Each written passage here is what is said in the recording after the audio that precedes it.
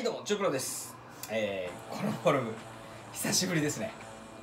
はいレスラー飯行ってみました。はいありがとうございます。えっ、ー、とですねあのー、週刊プロレスをあのもプレミアムにして、えー、モバイルにしたのでアーカイブが見れるようになりまして、えー、結構頑張って、えー、ちゃんこシリーズを探しました。えいくつか見つけましたんでその中からまあ徐々にやっていきたいというふうに思っております。それですね今日は、えー、ドラゴンゲートで、えー、作ってます、えー、煮切り醤油の、えー、豚バラ鍋というのをやっていただきます。材料がね非常に少なくてシンプル。もうちょっとねちゃんこには熱くなってきたんであんまりごってりしたちゃんこじゃなくてちょっとシンプルな感じのちゃんこ鍋。でも結構実は手が込んでいて作るのにねポイントがいくつかある。でもちょっと味の想像まだあんまりできないのでちょっと非常に楽しみにしてみたいなというふうに思っておりますので早速では作ってみたいと思います。よろしくお願いします。はいそれではね早速材料を説明していきたいというふうに思います。今日本当にシンプルです。ごくシンプル。まずですねお肉、えー、豚バラ肉ですね。豚バラ肉使います。それから、えー、キャベツですね、えー、春キャベツねいい時期ですからね。そして、えーと、油揚げです。薄揚げって言いましたが、まあ、油揚げ。でこの3品しか使いません。で調味料なんですけども、えー、日本酒料理酒ですね。料理酒それから一応だしがあるんで、まあ、だしの素ちょっと面倒なんでだしの素にしちゃいます。それからですね、えーと塩麹ですね。塩麹。そして、えー、お好みでごま油と、えー、粒の胡椒。もうほんとこんだけですね。随分シンプルな感じになります。さあどんな感じに作っていくのか早速やってみましえー、煮切り酒から作っていきたいと思います煮切り酒って何かというとこの中にですね一応お鍋の中に、えーと、日本酒料理酒ですね250入ってますこれをですねこれから、えー、火をかけて沸騰させますでアルコール分飛ばしちゃうってことですねで、これを飛ばしたら、えー、次に、えー、この中に出汁を合わせていくという形になります。では、つけてみます。はい、えー、そうしましたら、えー、こうやって、えー、沸騰してきました、え。アルコール分が飛んできたところでですね、えー、ここに出汁を合わせていきます。えーと、だし汁、これ今100入ってますね。ここに100のだし汁を合わせます。ここに、えー、お水ですね。あ、やべすげえこぼれた。えー、ちょっと問題が起きておりますが、かもわずいきます。えー、お水100、200、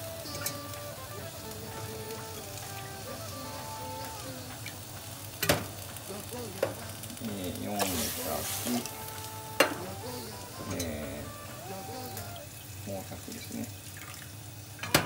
はい。はい、500入れました。えー、お水500ですね。えー、600のだし汁に、えーと、250の、えー、と日本酒煮切り酒ですねが入りましたでここにですね塩麹が 50g ぐらいということで、ね、これ200入ってるんで大体4分の1ぐらいでこんなもんですかねこれぐらい入れておきますでこれを混ぜ合わせて、えー、ごく弱火で火にかけておくという感じでね進めていきますはい、そうしましたらですね、えー、一手間です、えー、まずこれ、えー、バラ肉と、えー、油揚げですね、えー、一口大に切りました。で、えー、こちらの方に今お湯を沸かしてあります。で何をするかというと、えー、こちらですねあのー、いきなり鍋の中に入れるんじゃなくてこれをですねちょっとあのお湯にくぐらせるということをします。お湯にくぐらせて余分な、えー、油と臭みを取るという手間があります。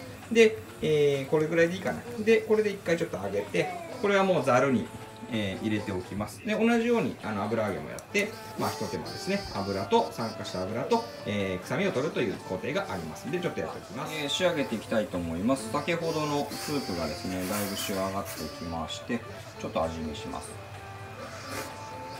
あうまい結構味濃いね。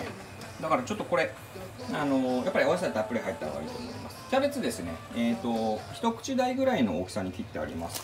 これを大量投入して、えー、これでまた火を入れます。しばらくお待ちください。はいそれではひと煮立ちいたしましてキャベツも少し柔らかくなりましたのでここにですね、えー、油揚げをこういう風にですね、えー、乗っけていく感じ。もう油通ししてあるので、えー、ほんと乗っけていくだけという感じです。まあもうここはもう煮込むというよりもあの油揚げも豚肉もあの火が通っておりますのでもう言ってしまえば盛り付け飾り付けみたいなもんですね。まあ、この状態でちょっと少し温まれば OK かなというところですね。なのでこういう感じでまあ綺麗に乗っけておきたいというふうに思います。はい。これで蓋をして、えー、一煮立ちさせていく温めておけばこれで、えードラゴンゲート、えー、煮切り酒の、えー、豚バラ鍋ですね完成でございます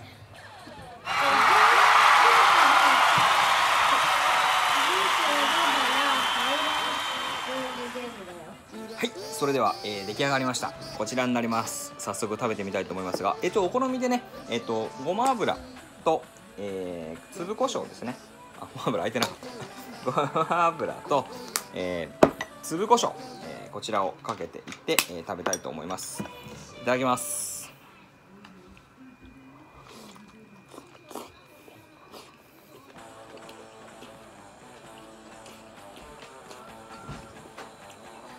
うんまっすごいこれあの正直あのスープの段階ではすごく味濃くてちょっとこれしょっぱすぎんじゃないかなと思ったんですけどあの野菜の甘みが見事にそれを打ち消して。で肉もね油揚げも脂身と臭み全部取れてるので本当にその塩麹そしてあの煮切り酒ですねのうまさっていうのがすごくバッチリ出てます。これでも本当全然味付けしてないのでこんだけ美味しいと思いませんでした。もうこれねヘルシーだしぜひぜひ皆さん作っていただきたいと。ちょっと手間かかりますけど材料も食材も少ないので非常に、あのーお手軽にはできると思いますのでぜひちょっと試していただきたいなというふうに思っております。ちょっとこれねあの本気で食いします。